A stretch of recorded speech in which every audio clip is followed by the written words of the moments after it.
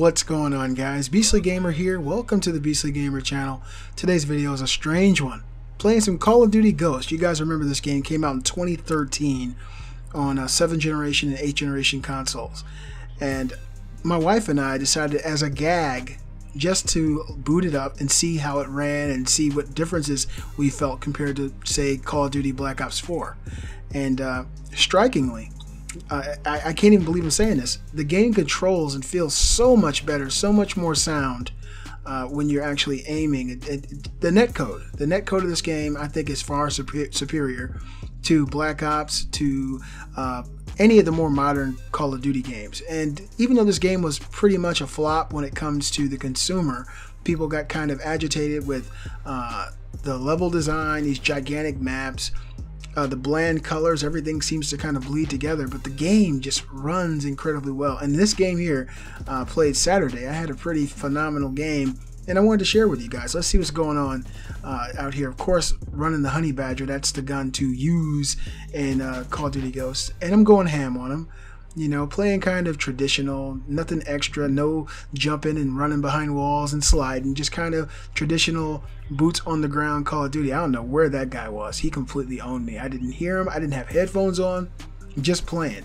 But as you can see, you know, pulling the gun out and, and shooting, everything seems to feel so much better. For a while, I was thinking that everybody in the game had just kind of lost their skill because I completely dominated and it was going like this many, many games. I had some pretty good games in Call of Duty Black Ops 4 as well, but I think this here is one for the, for the record books, at least for me. I don't even remember doing this well uh, back when Call of Duty Ghosts was actually out. And uh, the reason I say that is because of the number of kills, not the number of deaths. I think I, I go 37 and 12, I believe. And to me, that's pretty damn good. And once I get started, See that there? That's not starting. Once I get started, it kind of goes and goes and goes, and I, I, put these guys in a hurt locker. Uh, I'm curious though, to you guys out there, have you ever gone back to play an older Call of Duty? I've been kind of itching to go back and play Black Ops 2 and see if it still works and see if they haven't broken it. Um, this game still seems to work as intended. I know like Black Ops and some of the older Call of Duties on PlayStation 3 and Xbox 360 have been kind of um, modified. Hackers have kind of taken over the lobbies and turned them into shit. Uh, but it feels like Ghosts. Still feels like Ghosts. And somebody has a hind up in the air and it's really irritating me because it's not mine. Not yet, anyway. Pretty soon I'll have mine. You know, I, I think I got uh, I got uh, a UAV. I have a sentry gun, which I love to run sentry guns. I thought that was a, I thought it was an explosive. It's been so long since I played this game, I didn't know if it was an explosive or not. And I have the Hind, and I think I run something kind of similar in Black Ops 4. There's a Black Ops 4 footage I really want to uh, share with you guys too, where I got a ton of kills, number one uh, play of the game, and didn't die at all. I mean, I just completely dominated. Uh, I was trying to do the Worm Squirm. You guys know 402 Thunder and, and Black Worm. Those are the Call of Duty gods out there, at least, you know, as far as commentary and as far as camping. I'm not a camper per se, but Black Worm, uh, Black Worm is a trip. You know, someone I love to listen to and, and, watch him troll people. And so he's good friends with 402 Thunder. And uh, Thunder has kind of been given the itch. You know, he wants to try it. And so he goes out and, you know, kind of tries the. Uh, the uh, Worm Squirm, the camping route, and he does pretty good at it. And so I wanted to try it, and I tried the Worm Squirm, and I think I went 23 and 0 in Black Ops 4. Uh, I haven't uploaded the footage. I've been doing a lot of things on my other YouTube channels, uh, but I wanted to at least upload something, you know, kind of present time rather than uh, wait for another six or seven months to upload a video. What are you guys playing right now? I haven't even tried Red Dead Redemption 2, believe it or not. Uh, I hear a lot of things about it. I hear a lot of people say it has issues. A lot of people say it's amazing. Uh, and as somebody who was really late to the party to play Red Dead 1, uh, I just feel like eh, I can wait. I can wait until it, it becomes something I absolutely must play. I haven't even played Spider Man. I've been playing uh, some VR. I've been playing uh, Firewall Zero Hour on PSVR, which is kind of like uh, Call of Duty or a tactical shooter. And I got my aim gun, so that makes you know a big difference in the way that VR plays to me. Uh, I've also been playing, of course, Call of Duty Black Ops 4 with Kate. Uh, I've been playing some Castlevania Symphony of the Night. You know, they just re released Castlevania uh, Symphony of the Night and um, I forget the other one on PS4, so I've been playing that. Haven't really been messing around my PC too much.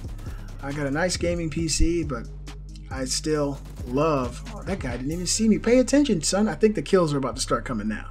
Okay, we got Rascal out. Rascal's ready to give him the business. So waiting for a second. Tagging him. Okay, now it's time to start getting them. I think right now I'm getting ready to rack them up, rack them up. Thunder style.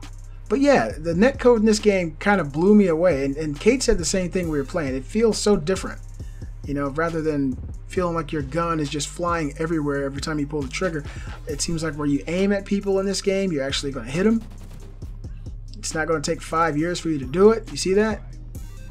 Now it's time to start giving them the business. Got the hind business out now. They're gonna they gotta they're gonna have to run and hide somewhere. So where should you put your sentry gun if you know people are gonna hide?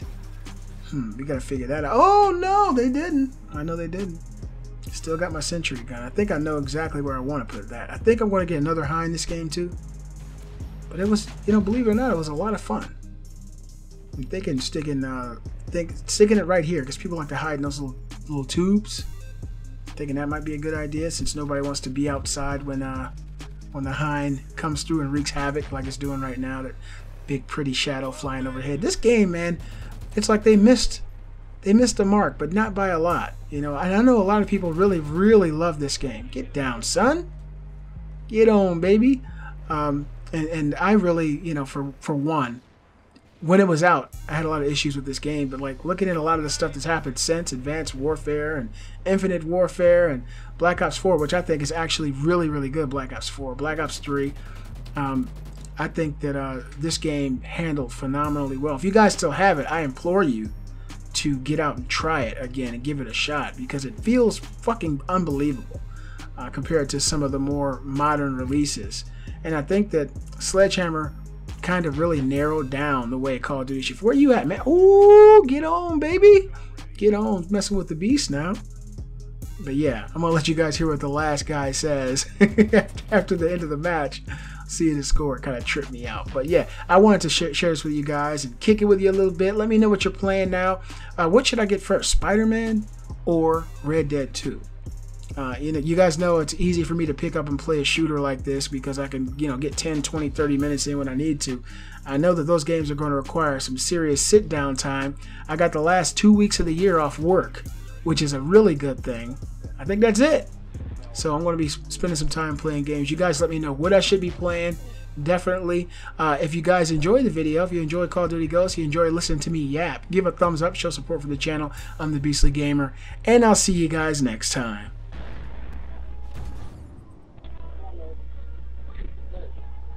Thirty-seven and twelve. Jesus